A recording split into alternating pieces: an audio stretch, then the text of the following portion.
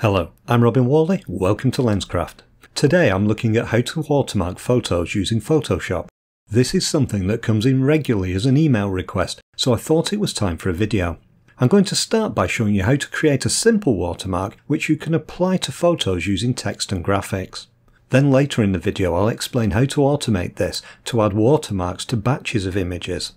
I'll start by using an image to help me create the watermark that I want to apply in Photoshop.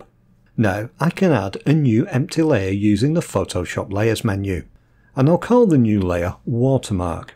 You can see the new layer at the top of the Layers window. For the watermark, I'll add my text first by selecting the Type tool in the Photoshop Tools palette. I'll then pick a suitable font to use, in this example Arial Black, and I'll set the text colour to white. I'll then enter my text to use for the watermark.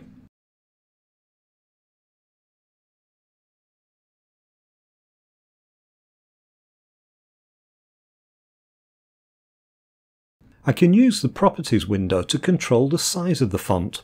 I can also move the text into position on the image using the Photoshop Move tool. The text doesn't look much like a watermark at the moment because you can't see the image through it. But before I show you how to fix that, I'll add a graphic into the logo so you can see how that's done. I've already got my logo open as a separate image in Photoshop. Using the Photoshop Move tool, I'm going to select the image layer in the Layers window and drag and drop it onto the image that I want to watermark. You can see this creates a new layer in the Layers window.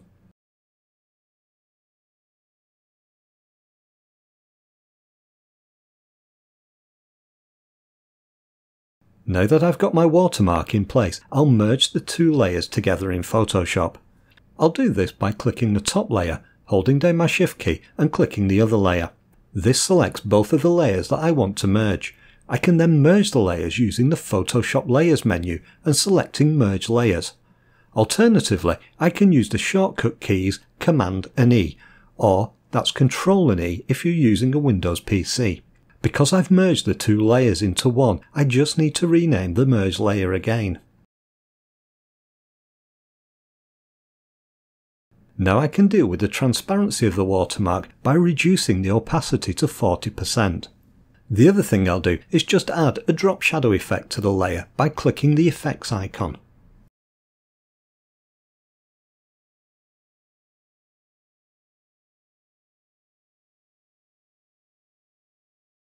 Once I'm happy with the design of my watermark, I'll delete the background layer so that I've only got the watermark. I'll then save this as my watermark file using Photoshop PSD file format.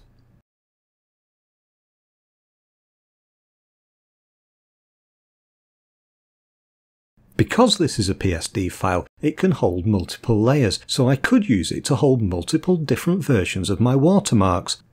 To add my watermark to an image, all I need to do is open the image I want to watermark and copy the watermark layer onto it.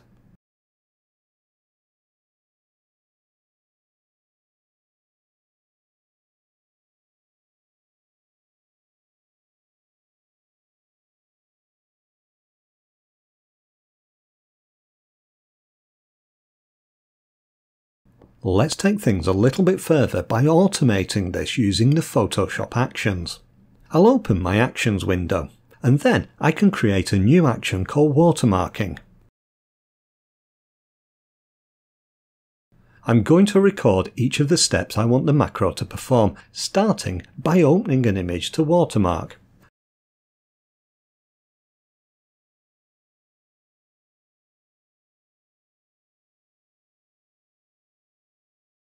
Then I'll select the watermark I want to use and copy it.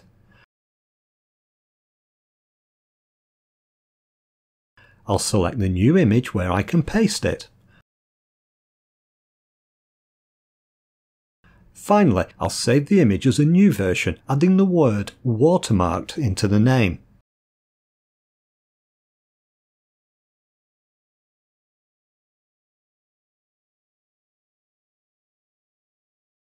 I can then stop recording the action. Now I can play the action back to watermark individual images very quickly. But I can also use this action to quickly batch process large volumes of images. To do this, I'll use the Batch Automate option in the Photoshop File menu.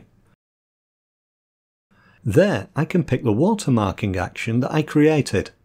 Then I'll select the source folder containing the images that I want to process. I'll then set up the options to control how the images are opened for processing. Here I want to override the open command to hide the open dialog. I don't want to include any of the subfolders because I'm going to create a subfolder where I'll save the watermarked images to, and this could risk getting other images in the processing. I'm also going to hide the file open options and any colour profile warnings. This ensures the macro won't pause and wait for me to respond if Photoshop would normally display a dialog. I can then choose the destination folder where I want to save the processed images to. I'll then select the option to hide the Save As dialog, and I'll define the new file name to use when saving the image. I'll do this by appending the word watermarked to the existing image name. When I click the OK button, Photoshop processes all the images in the chosen folder and saves them to the new location.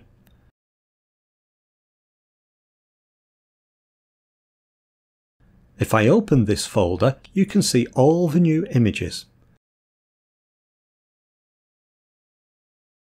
And if I open these images in Photoshop, you can see that they now have a watermark.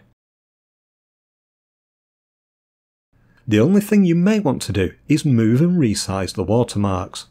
If you want some further ideas about creating your own watermarks, there's a tutorial on my website. I'll put a link to it in the YouTube video description. I hope you found this video helpful. If you have, please take a moment to share it with others. I'm Robin Whalley, you've been watching Lenscraft. I'll see you next week for another video. Thank you.